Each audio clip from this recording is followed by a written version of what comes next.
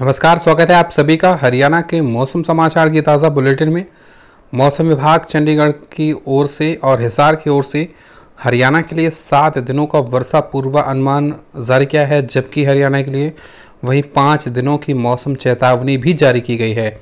आइए जानते हैं मौसम अपडेट। अगर आप रोज़ हरियाणा की मौसम समाचार की ताज़ा जानकारी सबसे पहले पाना चाहते हैं तो अभी चैनल को सब्सक्राइब करें तो जी हाँ शुरू करते हैं वीडियो को। तो सबसे पहले जान लेते हैं हरियाणा का अधिकतम तापमान।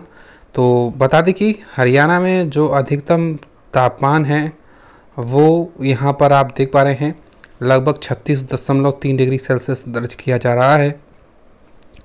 अगर बात करें मौसम पूर्वानुमान की तो कल प्रदेश में, पूरे प्रदेश में कह सकते हैं हरियाणा के 22 के 22 जिलों में गरज चमक के साथ में यहाँ पर कह सकते हैं, एक दो स्थानों पर, बारिश हो सकती है, जबकि हरियाणा के इन क्षेत्रों में वर्षा होगी।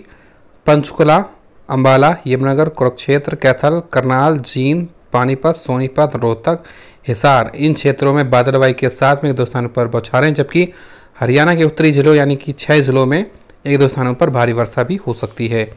और लेकिन मौसम विभाग ने पूरे प्रदेश भर में जो अलर्ट जारी किया है, गरज चमक का, और प्रदेश में 10 से 20 पर 10 से 20 की स्पीड से हवाएँ भी चलने वाली हैं। ये बड़ी अपडेट निकल कर आ रही है। तो वहीं 26 अगस्त को भी हरियाणा के इन क्षेत्रों में गरज चमक रहेगी, जबकि यहाँ पर पंचकुला, अंबाला यमुनगर कुरुक्षेत्र, कैथल, करनाल ज़िले में गरज चमक रहेगी। 26 को जबकि महेंद्रगढ़, रेवाड़ी, झज्जर, गुरुग्राम, नूह पलवा फिदाबाद, रोहतक, सोनीपत, पानीपत ज़िले में गरज चमक रहने वाली है। वहीं 27, 28, 29, 30 को हरियाणा के उत्तरी जिलों में बादलवाई रहेगी शेष जिलों में मौसम शुष्क रहेगा। और वहीं अगले सात दिनों के दौरान राज्य के अधिकतम तापमान में कोई खास बदलाव नहीं होगा बड़ा बदलाव नहीं होगा। ये है मौसम अपडेट। कल हरियाणा के उत्तरी जिलों में गरज चमक रहेगी हमने आपको बताया कहाँ कहाँ बौछारें पड़ सकती हैं। यह है बड़ी अपडेट। इस वीडियो में इतनी थी जानकारी धन्यवाद। जय हिंद।